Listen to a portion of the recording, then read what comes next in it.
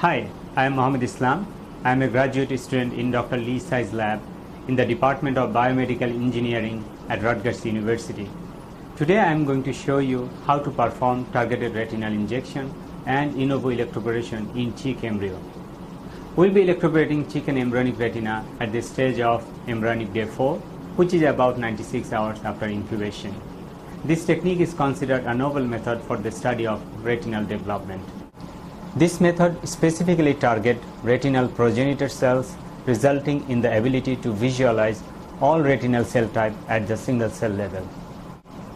It can also be applied to gain or loss of function studies where a gene of interest can be targeted to study normal development or disease of the retina.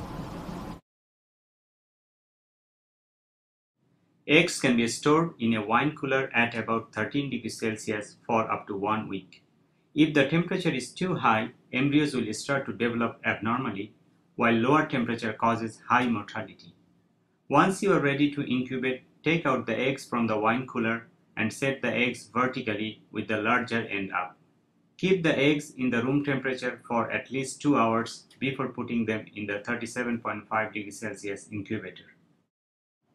Incubate the eggs for about 96 hours, which is about embryonic day 4 to obtain embryos that are at the Hamburger and Hamilton stage 22. Prepare micropipette needles from pooled glass capillary tubes and break the tip under a dissecting microscope with the tweezers to get a tip opening about 0.1 micrometer in diameter and a 2 millimeter taper.